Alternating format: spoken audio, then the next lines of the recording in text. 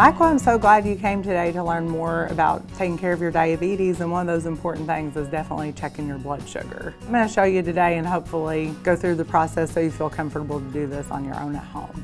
Here's the blood sugar meter itself. So this is where we'll put the test strip and we'll actually get those blood sugar readings displayed. And then we have the lancing device. This is what we're gonna load the small needle or the lancet into to get that stick. Then we have the test strips. This is what we'll use to put into the machine that will actually have your blood on it. It's really important you keep the test strips in this little container and don't take them and put them in a little Ziploc bag or something like that and carry them in your pocket, okay? Okay. So if you take them out of here, do you remember that old film, how you could expose old film if Yes. it got exposed to light? So you want to keep these in here, okay? Okay. If you are paying $1 per test strip or $50 for 50 test strips, for example, then you could benefit from purchasing a store branded meter. You can typically purchase a store brand meter for a very reasonable price and then pay about $20 for 100 test strips. And then it's important, we have hand sanitizer or you can use alcohol pads. It's always important that you mm-hmm. clean your hands before you check a blood sugar. Okay. So what if you did have something on your hands that may skew that number, like honey or jam or something like that? You know me. We won't want that, right? So, all right, so let's go ahead and start. You want to just pick up this lancing device. Okay. We're going to load this with the needle first. You see right here, there is kind of like two bumps or two raised parts. This is in the lock mode right now, so Mm-hmm. I need you to, with your fingers, turn this over here to the unraised part. So you're going to be turning this. Okay. Yep, and then pull the lid off. Good. And then you're going to take one of your lancets, and the color doesn't matter. Um, Okay. they're all the same, they're just different colors. You're going to put that smaller part straight down in until it clicks. So just push it straight down all the way till it clicks. Perfect. Now if you'll start spinning this top part, that's the cap for the needle. And when it gets loose, you'll notice it's going easier for you and you can pull mm-hmm. it straight off as easier. Yeah. Okay. And there's a needle. So there's your needle. So it's not very big. No. So go ahead This and cap. pick up your cap and we're gonna put it back on to that unlocked position. So find that bump on your Oh, white yes. part and kind of line it up and push it straight down. Got it. Good.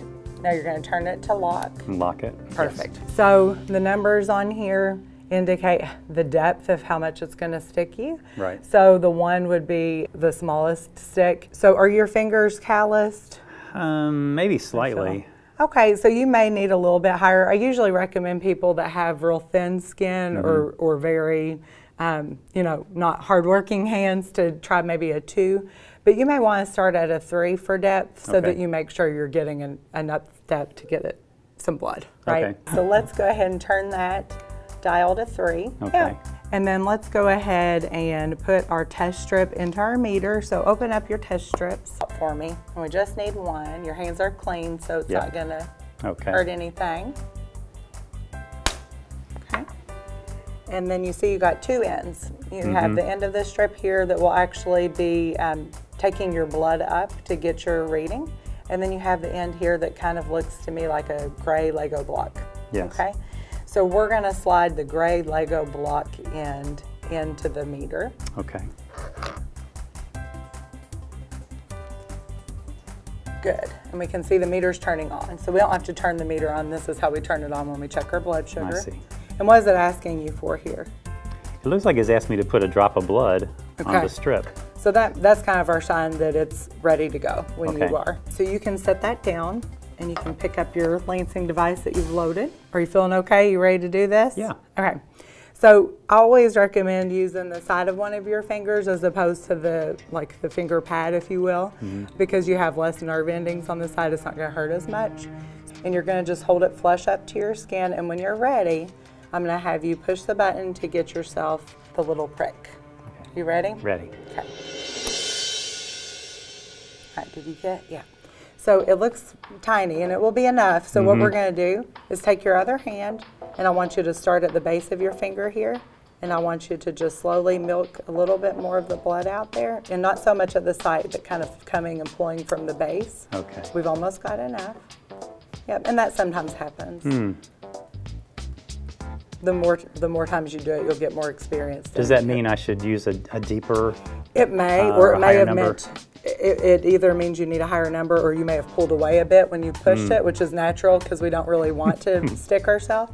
And this is perfect amount. Okay. So go ahead and use your other hand to pick up the meter and you're gonna put the tip of that strip on the top of that blood drop and it's gonna, yep. Oh, yeah. And a five second countdown here and you've got plenty on there. Okay. So now it will display your result. Wonderful. 111.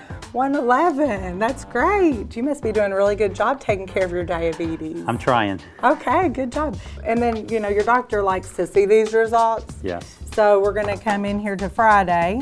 Um, I always like to put what the actual date is right beside it.